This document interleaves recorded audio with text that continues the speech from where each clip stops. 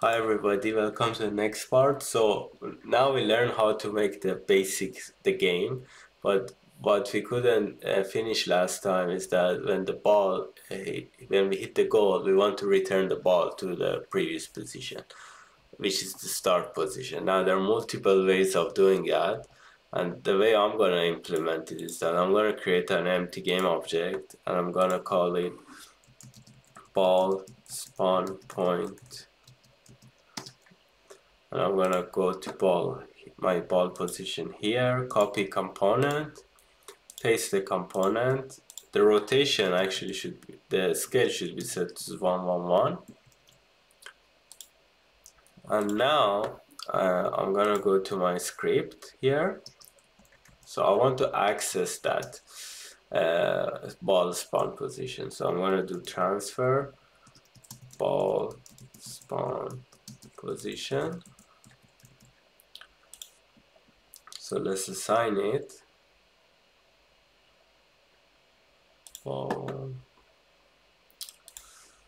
so I drag it to here and open up our script. So now all I have to do is that I say other dot game object dot transform dot position. So this would be the transform of the ball. And now I'm gonna set it to the spawn point. So I'm gonna do ball spawn to position dot transform actually that uh, sorry. So ball spawn spawn position dot position.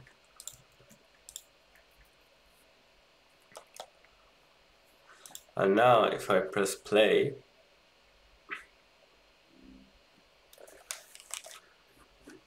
so I click on start game. It's gonna open up and I'm gonna grab this throw it and but you see there's a problem here because my ball has previous movement. As soon as I bring the ball back to its original position it keeps moving. So how can I stop it from moving? And this has to do with the rigid body because our ball uh, movement is based on rigid body. So what I'm gonna do is that I'm gonna actually I need to access the ball game object multiple times so I'm gonna need to do this couple of times. So instead of doing it each time I'm gonna create a game object. This is also called caching so I'm gonna cache my game object inside the variable so I can access it. Ball equals to other game object. So now I can do ball dot transform the position and now we want to stop the rigid body force so I do ball dot uh, get component rigid body dot uh, velocity and I'm gonna set it to vector 3 dot 0 so we set the velocity to 0 and now I need to do ball get component rigid body again and I'm gonna set the angular velocity to zero as well.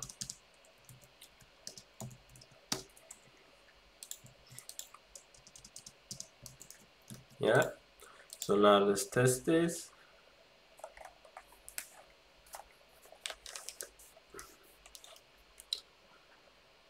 So if I click on play I click on start. It opens up. I grab the ball throw it. I see it now it doesn't move anymore. It's gonna stay in the same position because we are disabling the previous rigid body force. And if I try to oh so close. And we can actually let's try to score the user position as well so what I can do is that I can, let's say, duplicate this one, increase the size of it. Uh, okay.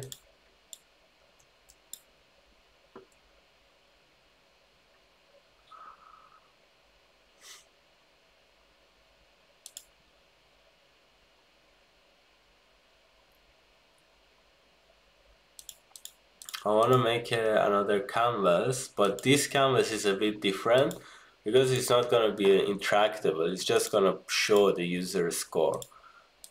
So I'm gonna rename this to score board. And actually if I just find my canvas is here. So I'm gonna duplicate this I'm gonna call it scoreboard canvas but I don't want this to be interactable so I'm gonna disable this.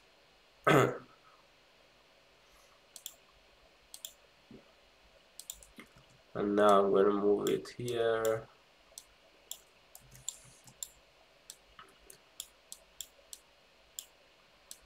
So instead of the button uh, I'm gonna remove this I'm gonna add a UI text which is very large. So make it smaller. I'm gonna change the color to white so it's more visible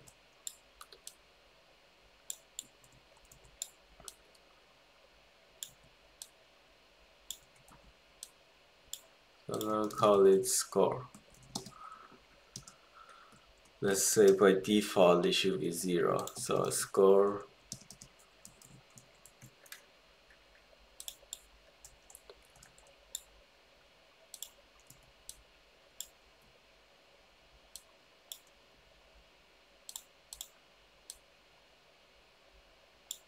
Okay, this seems fine. Let's just make it a little bit bigger.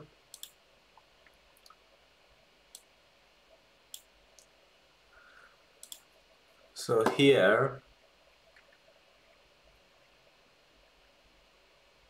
in my UI manager,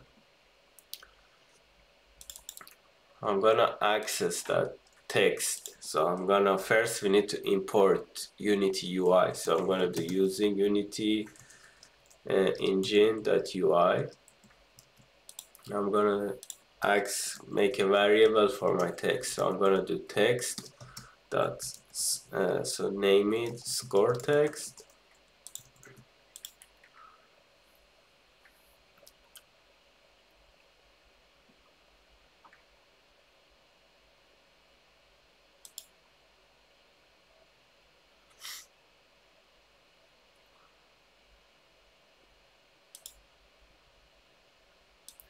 can drag it here. And now I make a method so I do public void increase score.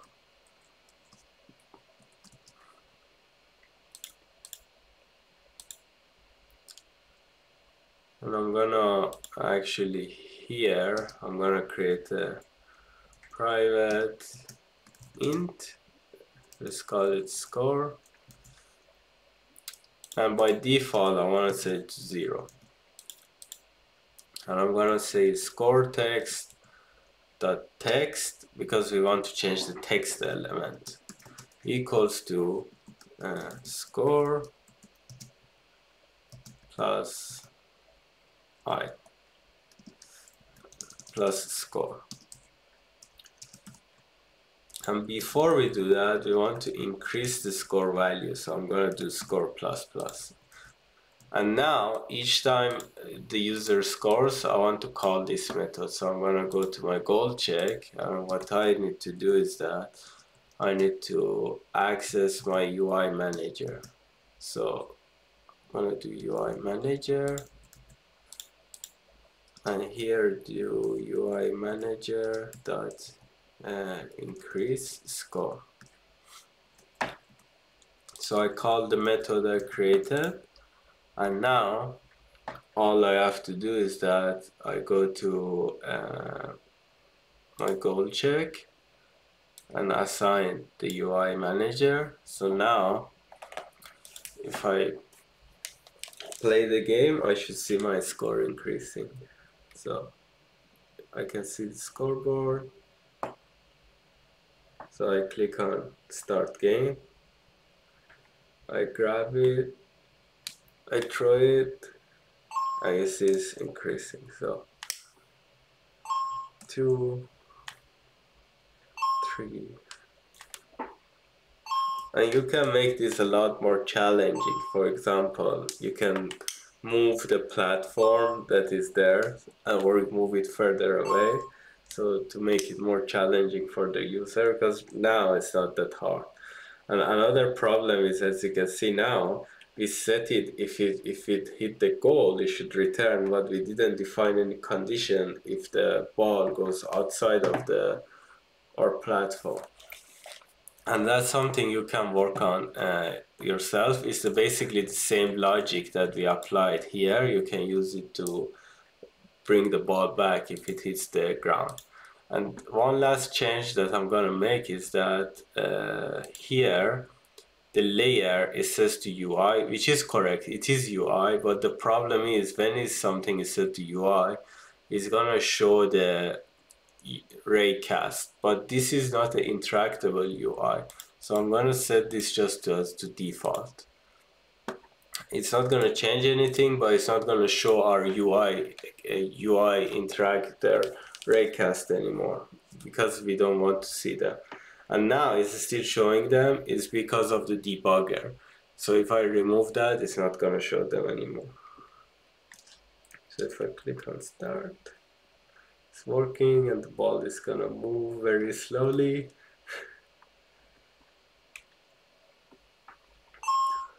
Yeah so this is how you can make like using these three elements like physics uh, physics animation and audio we made like a simple game. And you can make a lot of improvement to it. So we can make it more challenging improve the graphics. There's a lot to do. So that's something you can work on on your own time. Thanks for watching